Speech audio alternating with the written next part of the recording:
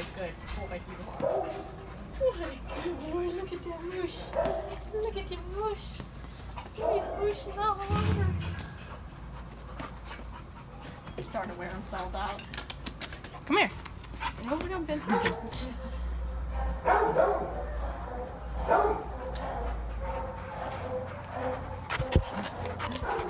is that? Yeah, he wants. He's probably gonna get my wallet next. He's very intelligent, looking for stuff to do.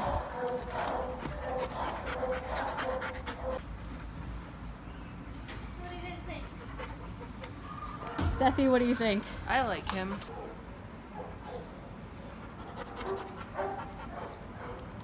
Something way more calm.